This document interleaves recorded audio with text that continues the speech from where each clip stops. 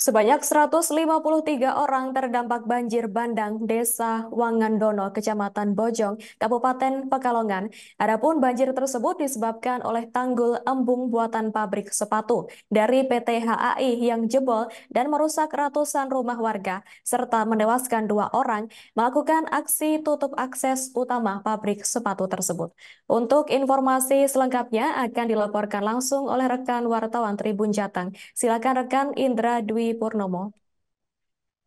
Iya Nina, sebanyak 153 warga uh, Desa Wangandowo, Kecamatan Bojong, Kabupaten Pekalongan yang terdampak uh, akibat banjir bandang karena tanggul uh, atau embung yang berada di PT HAI ini jebol sehingga membuat uh, di desa tersebut terlimpas oleh uh, banjir bandang dan dua orang meninggal dunia. Akibatnya uh, para warga melakukan akses uh, aksi tutup akses utama pabrik sepatu di lokasi pintu atau akses utama dari pabrik tersebut. Memang dari hasil pantauan Tribun Jateng sejak kemarin hingga saat ini masih dilakukan penutupan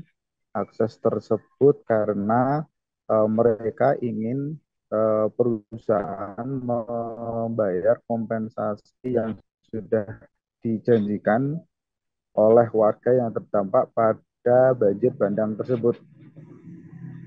Selain itu, uh, mereka juga menuntut uh, kompensasi terutama aset bergerak seperti gerobak, kemudian kendaraan motor, lalu kulkas yang digunakan untuk sehari-harinya bekerja di wilayah desa tersebut. Perwakilan warga desa Wangandowo yaitu Slamet Riyadi mengatakan bahwa mereka bersama uh, warga ini melakukan aksi tersebut ingin meminta kepastian dari pihak PT HAI terkait hak-hak warga yang belum terrealisasikan. Uh, dan mereka meminta hak tersebut karena itu adalah haknya, bukan uh, mereka beranggapan dia bukan pengemis, lantaran mereka ingin meminta hak-hak yang sudah dijanjikan oleh perusahaan tersebut. Selamat juga menjelaskan apabila hak-hak para korban yang belum diberikan akan menutup akses ini hingga sampai diberikan kompensasi dari perusahaan. Tidak hanya itu, warga juga melakukan atau berjaga di pos atau tempat ditutupnya akses tersebut selama 24 jam untuk siang hari eh, dari pagi hingga siang hari akan dijaga oleh para emak-emak dan anak-anak lalu memasuki sore hingga malam hari akan dijaga oleh eh, laki-laki uh, atau bapak-bapak yang ada di desa tersebut.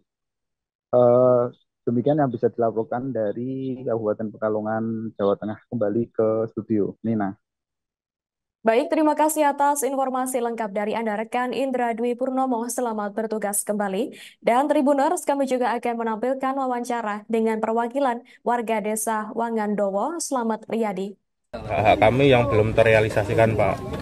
Dan kami sebelumnya sudah berupaya mediasi uh, penyampaian uh, kepada pihak perusahaan, tapi sampai saat ini belum ada kepastian yang pasti untuk kami menuntut hak, hak kami seperti itu Pak. Dan kami orang di sini kami meminta hak-hak kami dan kami itu bukan mengemis Pak di sini.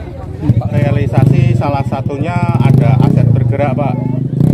Misalkan eh, barang-barang uh, kami yang yang yang seperti kemarin kan ada banyak motor, kulkas dan sebagainya Pak. Itu belum terrealisasi. Download Tribun X sekarang. Menghadirkan lokal menjadi Indonesia.